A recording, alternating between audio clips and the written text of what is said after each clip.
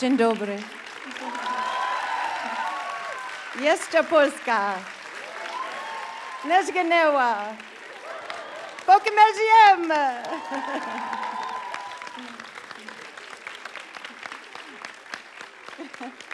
That's the Polish national anthem. Talk. That's all I can do. No, And so now I guess we'll have Kinga Kral. Na dużym ekranie zadebiutowała w wieku 17 lat w użyczce Ottona Premingera. Do tej pory zagrała w ponad 50 filmach pod okiem takich reżyserów jak John Borman, John Burman, Richard Lester czy Brian De Palma. Z uznaniem krytyków spotkały się jej kreacje w Bilecie do Nieba, oto Monika Balur, czy nagrodzonym Złotym Niedźwiedziem w Berlinie, Podróże Widmo Romana Polańskiego. Jednak najwięcej nagród oraz popularność na całym świecie przyniosła jej kreacja Samantha Jones w kultowym serialu HBO Seks w Wielkim Mieście oraz dwóch filmach pod tym samym tytułem. Za tę rolę została uhonorowana Złotym Globem. Poza tym zgromadziła jeszcze trzy nominacje do tej nagrody i pięć nominacji do Emmy, a razem z przyjaciółkami z planu otrzymała również cztery nominacje i dwie nagrody od amerykańskiej gildii aktorów filmowych. W tym roku Kim Cattrall powraca do seriali telewizyjnych w roli producenta wykonawczego i zarazem gwiazdy kanadyjskiej adaptacji brytyjskiego przeboju Sensitive Skin.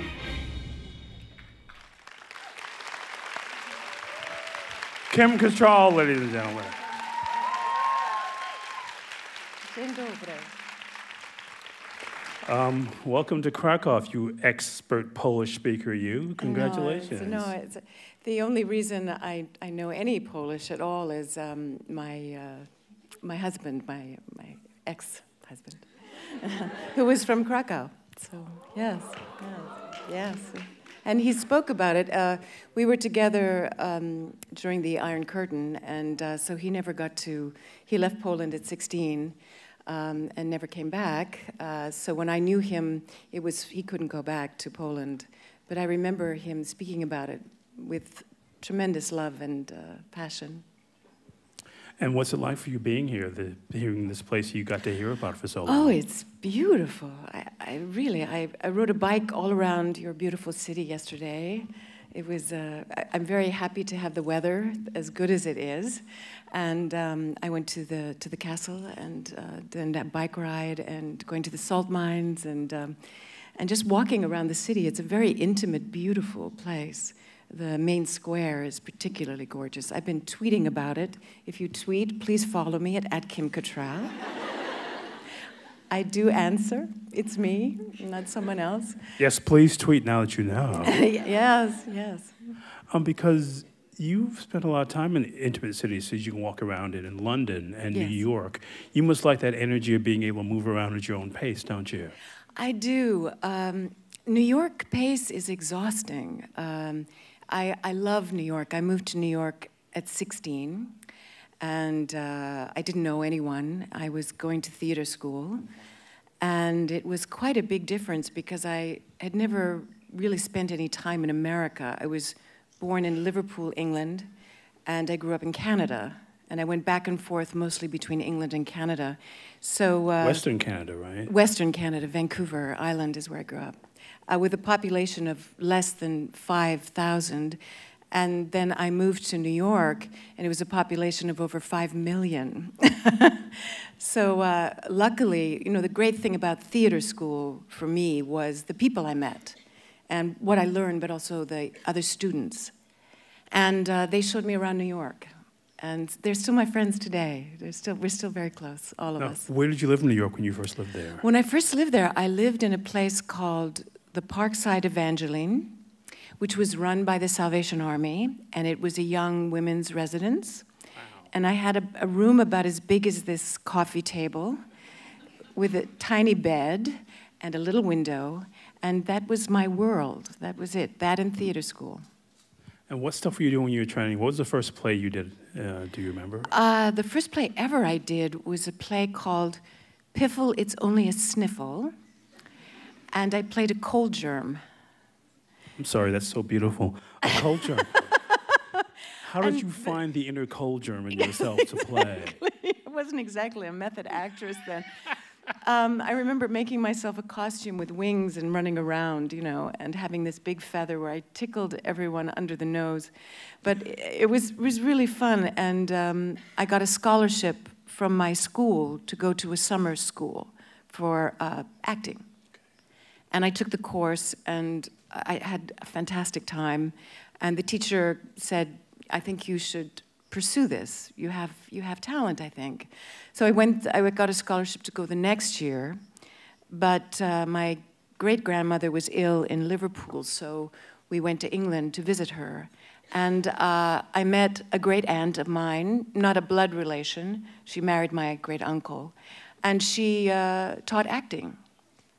And she said, Why don't you stay a little bit longer than your vacation here, or your trip here in Liverpool? And why don't you take this LAMDA exam, which is the London Academy of Music and, and Drama? And I took it and I got honors from this exam.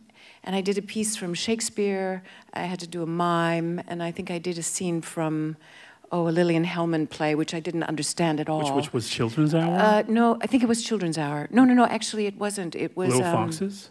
No, it wasn't Little Foxes. It was, um, oh, this wonderful. Mm, maybe it was Children's Hour. Maybe it was Children's Hour. Yes, which is uh, at, at 11, 12, I couldn't grasp what was really going on. It's about two women who are accused of having a lesbian relationship. so I didn't really know what was going on. But I guess I did Puck better than that um, from A Midsummer Night's Dream. So I did well. So then it, it became clear that what I, what I loved doing, I could possibly make a livelihood at and continue to do. You said something interesting to me a few minutes ago that you liked the idea still of playing other people, of escaping. Yes. And did that appeal to you even at that age, just playing the cold germ and moving on to Puck? I mean, yes. did you connect to those things? I did. I enjoyed reading. And what I enjoyed about reading was when I put the book down, I could imagine where the story was going to go next. And the most exciting thing for me was not knowing where the story was going to go. And that still is how I like to work today, uh, is playing a character who takes you in a direction you didn't always anticipate. Um, and that helped me very much playing Samantha Jones in Sex and the City, because I played a woman who had an amazing appetite. and really, that's an amazing appetite. Okay. And, yeah. you know, my imagination, because I'd never, other than Madeline Kahn, I'd never really seen an actress make comedy out of uh, sexuality before. And you're thinking about Blazing Saddles. Blazing Saddles, yes, many of the films that yeah. she did. Young Frankenstein, exactly. you know. Even High Anxiety. All these, exactly. these women who are kind of overtaken by their appetites. Yes, yes, like a fever almost, yes. yes. Um, so I think that that, that uh, quality that I have of um, being daring, being unexpected, and, and the audience not knowing has, um, has been something that has helped me with the characters that I've played. And I think it brings in the audience because when you know something, I think you get complacent. It's when you don't know something that you get engaged. You have my attention. Then how do you play somebody for so long? Because you play that character for a good long chunk of your career. And how do you continually find surprise in playing somebody like that? Well, that's where imagination comes in. You know, the writer would write, Samantha falls on the bed. And I thought, oh my God, how many times have I fallen on the bed playing Samantha? So each time I would try. Have a montage of all the times yes, you know, I'm kidding. I know, I know, I know. That's not even a third of it, believe me. Um, I think what it does is, is lets my imagination, it becomes a challenge to make it new and fresh. But uh, apropos of that, I mean, does that get a little bit daunting after a while? Yes. somebody you get to know so well? Yes. And, because you got that point, the work has to be still finding the surprise in it, though, yes. doesn't it? But I am a theater actress, and every night I go in front of an audience and I'm telling a story. And each night, people say, How can you play a character every single night? Or how can you play a character for 14 years? And it's, it's really, for me, the challenge is keeping it fresh. Every night, I try and do something a little bit different. And every night, or every time we film, I find something new. I try to, as much as possible, because then you're engaged. You're engaged as the actor, as a creative need. Because I was thinking one of the first times I saw you was in the movie in which you terrified me, uh, Ticket to Heaven. Oh, wow. You are a cinema buff. It's a great performance, and you should tell the audience a little bit. I mean, it's and an entirely Canadian production too. It's you and and and and and, and uh, Nick Mancuso. Yeah, yeah. and and um, you play a character who I think for me is a key to a lot of things you've done. We think you're one thing, you turn out to be something else. Yes, yes. Uh, I played uh, a programmer in um, Ticket to Heaven is about a young man who gets uh, brainwashed and he becomes part of the Moonies. And it was based on a book. A, a true story. And I play a girl called Ruthie, and she's head of the brainwashing camp. So I played a brainwasher. And uh, she was fanatic, just a fanatic Initially, she's very ball. seductive. Oh, yes. She used everything, anything and everything. But she's very religious, very sound. She felt that she was saving the character that Nick Mancuso played, saving his soul. So it was for a greater good that she did everything. Seduced him, but not physically. Yes. Uh, what initially we think is going to be her, she's very flirty. She's using her body in this. Yes. She's a siren to Yes. pull him in. Yes. And then once she gets him in, we get to see this burning ambition in her eyes. Oh, yes, yes. She's almost like a frenetic uh, zealot uh, cheerleader. You know, she's really a, she wears these overalls, which are not very sexy, and she's playing all these games, and um, it, the energy for it was, you know, she's, she's really whipping you into this frenzy Oh, when you're leading that chant, frenzy. which is basically you to drive any sort of Yes. outside Choo-choo-choo, thought out of your head. choo-choo-choo, yay, yay, pow, choo-choo-choo, choo-choo-choo, yay, yay, pow. And it became like um, a, a, a trance. It really was. And, and also the, the people that they were brainwashing, they weren't allowed to have any protein. So they're sort of existing on this kind of, uh, not, not without any center. They're sugar and starch. There's no and- brain food. it, no brain food, no, no. So they're susceptible to a lot. And um, you know, it was a, it was a wonderful film to be part of, directed by Ralph Thomas, who was uh, not a fictional director. He'd done a lot of documentaries, and he was a Baptist also. Yeah, he was very religious, and um, his his family had been actually missionaries in Africa. Um, so he came from a totally, feeling a totally different way about religion, first of all, um, but also about making this film as real as possible. He shot it in sequence. Because Nick had to lose all the weight for it. Yes, yes, the lead character loses 30 pounds through the course of the film, so he had to start off looking relatively normal and end up being emaciated. Yeah. But I, again, just I'm thinking about so many of these performances. I mean, even we work with John Carpenter, and Yes. we think you're one kind of person, but you have to sort of take control, and you do. And one of the things I was saying to you before we started that I've always been impressed by with you is your characters are always these full-bodied people. I mean, you use your body in its entirety, and that kind of physical commitment really matters to you, doesn't it? It does. To me, it's um, it's one of those aha moments. I have an aha. I mean, I get it. I get what drives this person. Uh, I get that sometimes through physicality, particularly in a film that showed last year at the festival uh, called Meet Monica Velour.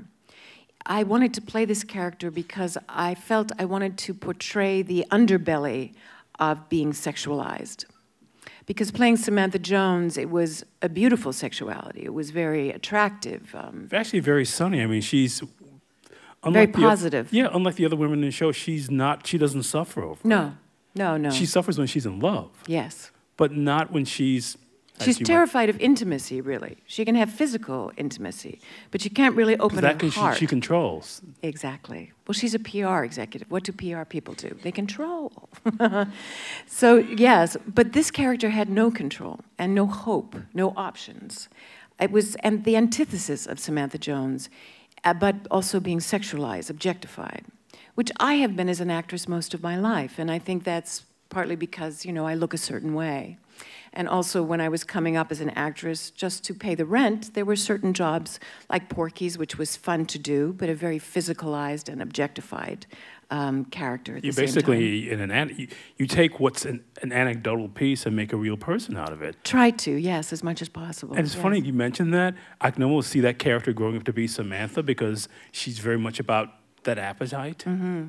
Exactly. You see what I mean? That's, yes, that's sort of that connection. I do. I do. Yes. Yes. But, but back to Monica, I was really Monica Velour impressed by it. she didn't know what to do with her hands. Yeah. That was a really interesting note to play. Yeah. Talk about how you, you found that. Well, do you mean in the sense of uh, not knowing who she is, not really owning the spaces? No, she she was broken down, and I think from a very early age, uh, she was taught that she was worthless except for her physical attributes. The way she looked, how she performed on camera on these porn films. And the physicality was of somebody beaten down. I mean, she's living in a trailer park fighting for the custody of her daughter from this really schlubby, horrible husband of hers who um, is in, she's in court with. And this young boy appears and he, he has idealized her. He's only seen her films, he doesn't know who she is. So she's, she's really, uh, she's also, she's an alcoholic, you know. She's snorting cocaine, she's smoking drugs, she's smoking. She doesn't, She's self-medicating, yeah. She's, uh, she, her heart's broken. Her spirit has been broken for many, many years. And a lot of porn stars that I interviewed in, from the 70s, which Monica Velour was from the 70s, they never got rich. They were paid maybe 500 bucks or on a daily rate. They never had residuals. They never had any protection. And that's, so she has nothing. You know, she wasn't, uh, she, she was not a producer, an executive producer or anything. So her, her, she has no hope, she has no options. But I thought, I have to find something in her that is hopeful. And that became her child. That became the thing about Monica that I could make her as real and as truthful and as ugly and pathetic as she really was in so many ways. But the thing that she had that was positive about her was her love and her commitment to being a mother, the best she could be. What was I found unique about that character, and I wonder if this is what appealed to you about her. Mm-hmm. She's one of the first characters you played.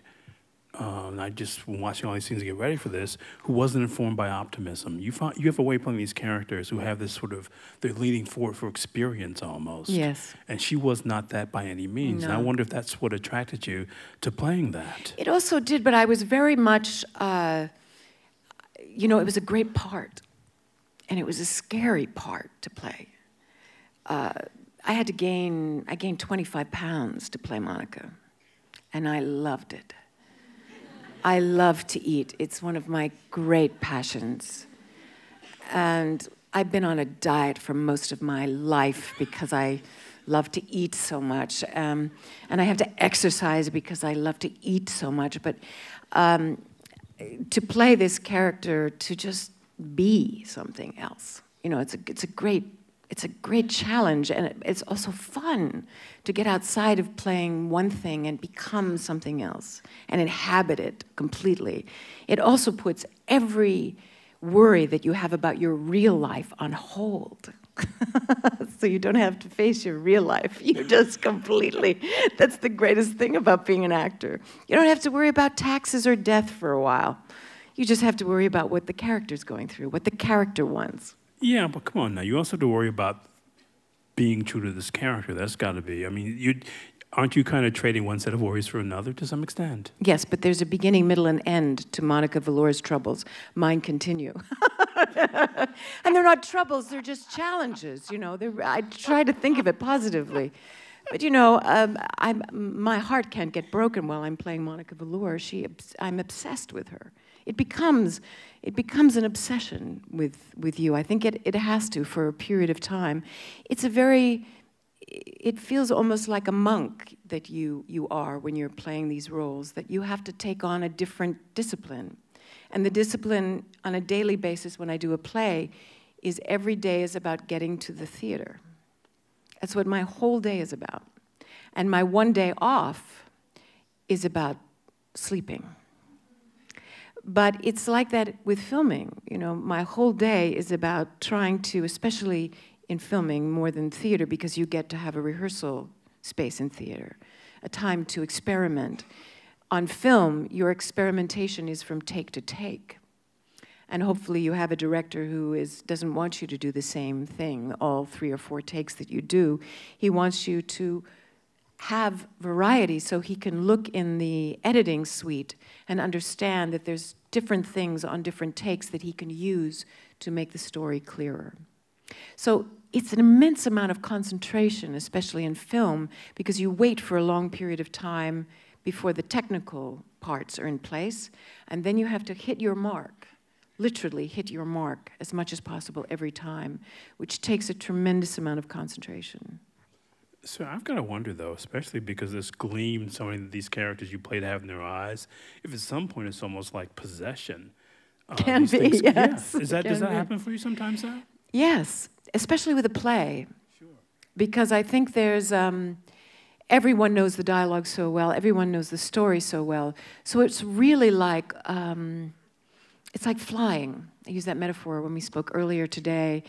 I think sometimes acting and the way I choose to look at it is I feel that I'm on a cliff and I look down and I see the bottom of the cliff and I want to go down there. Not that I want to kill myself, but I want to fly and I want to land because I know when I land, I'll be somewhat different in some way from what I've learned of playing that character.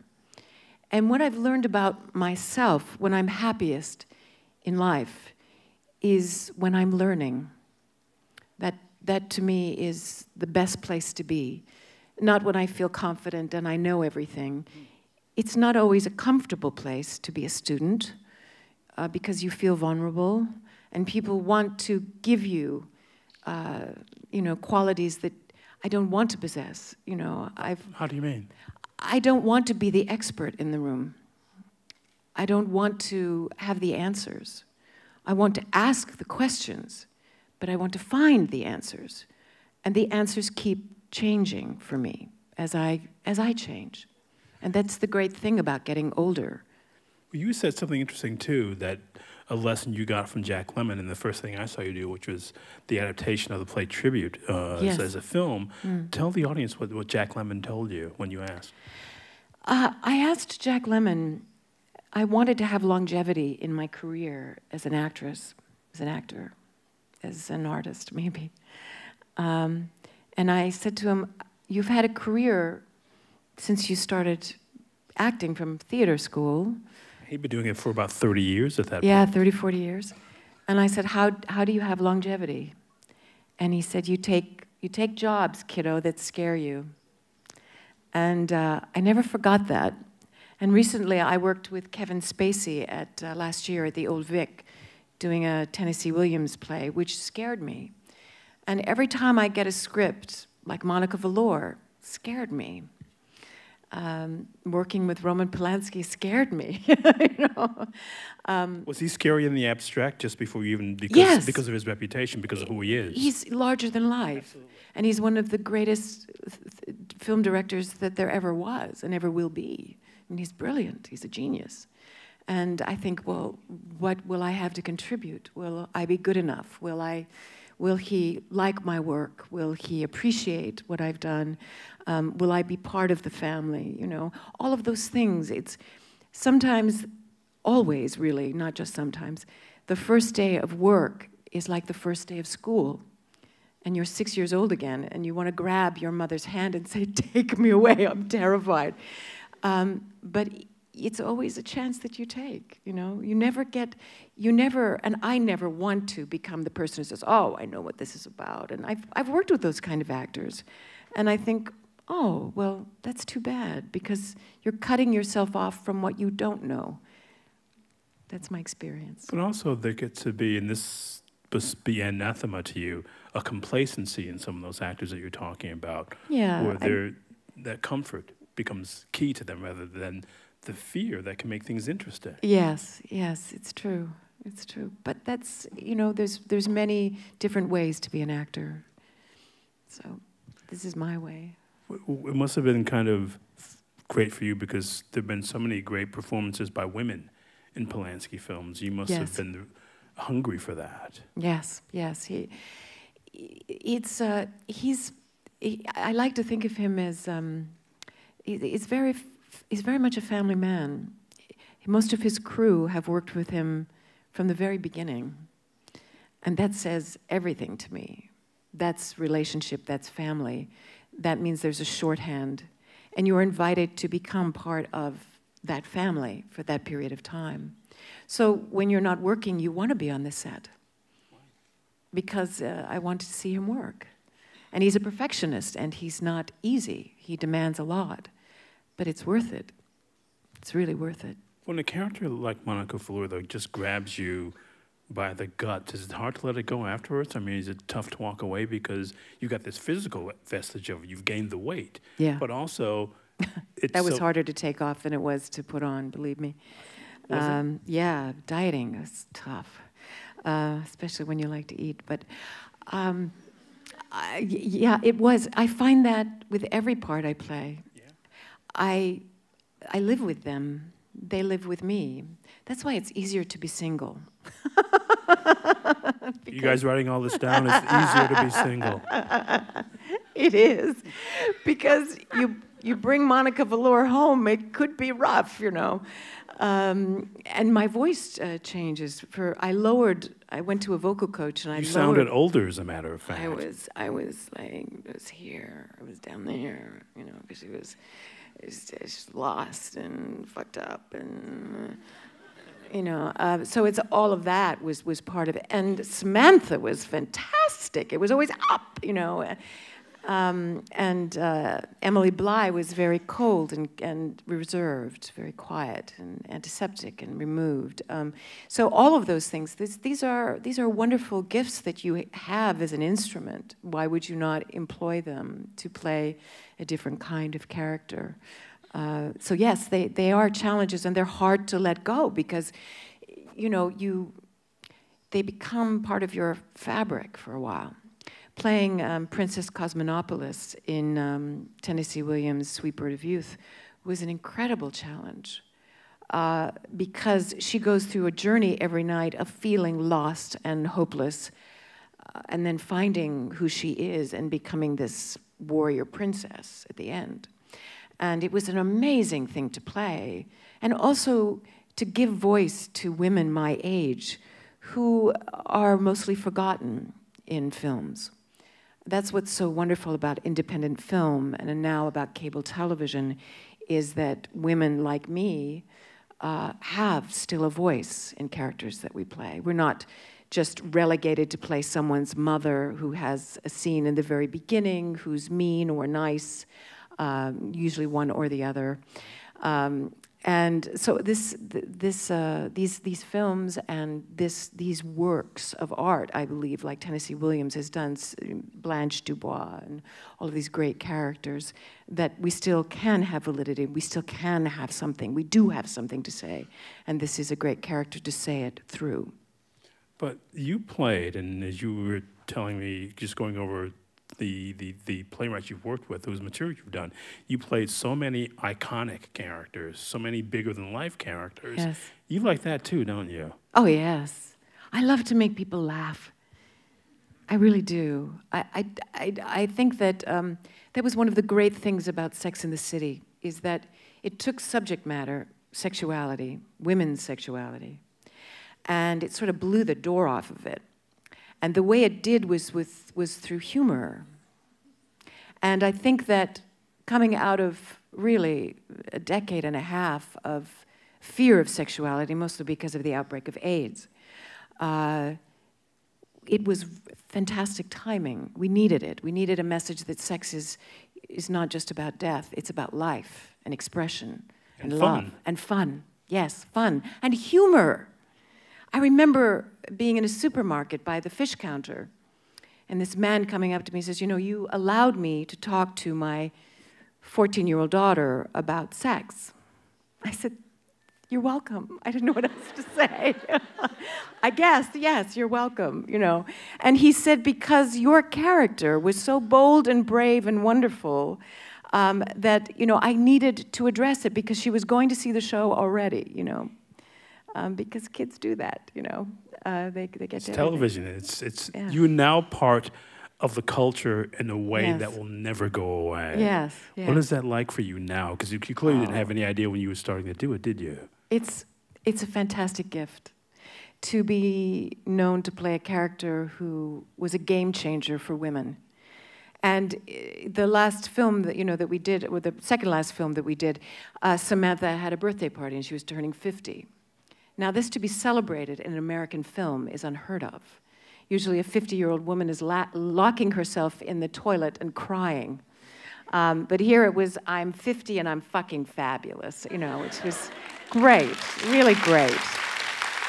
Really great. And I think that that kind of impact has really lasted, made, it, made an impression on me on the kind of roles, not just for the people, the fans, and the people who like to watch my work and are looking out to see what I'm doing next, is to continue to break down barriers, first about women, and then about women as they age.